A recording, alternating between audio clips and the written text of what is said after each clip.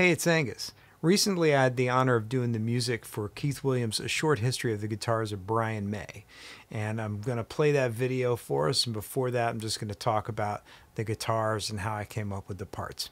My history with the music of Queen is, I, of course, loved Queen growing up and worked with musicians that love Queen more than me throughout my career.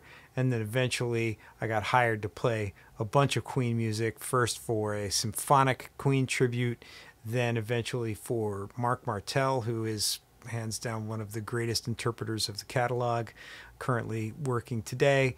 And I've also done done other Queen tribute shows along the way. It is uh, if it's something you want to get into. There's definitely call for guitar players that can do it. That can play the part, get the tones, and sing the parts convincingly. So I highly recommend if you want to do that, you should get into it. And here's a few tips on that.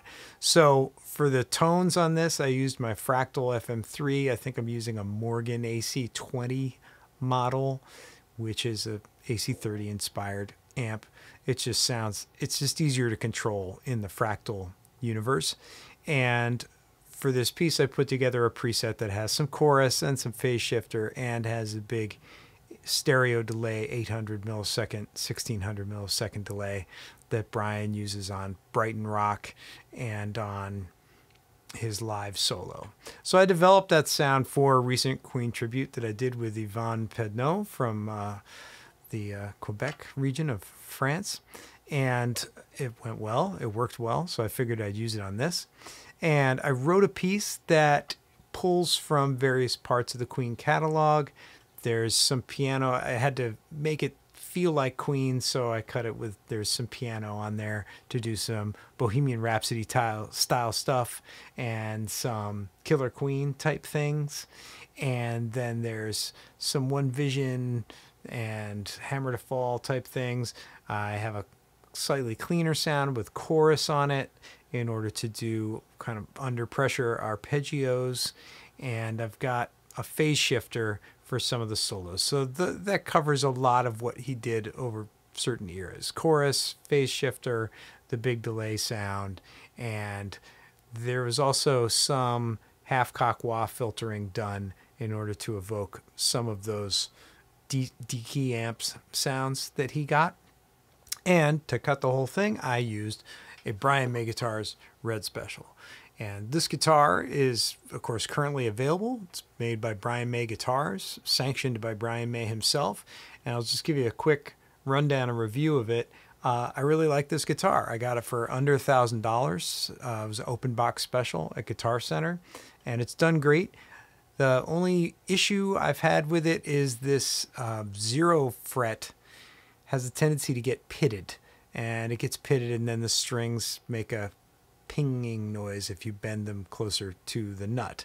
So I've had it replaced, and it's actually been replaced twice uh, with a stainless steel fret. So I'm not sure what it is about my playing or the design that makes that happen, but seems to be an issue for me. Um, and it's surmountable. You know, it's not nothing that's going to make you not want the guitar. The tuners are a little hard to thread, but then they work great. Uh, and on the upsides, I really love the bridge. The Wilkinson bridge has some neat design features that I like. The electronics work great. I will say that in getting the Brian May sounds, his his live sound is primarily just the bridge and middle pickups in phase. And that sound sounds exactly the way you want it to, and it's great.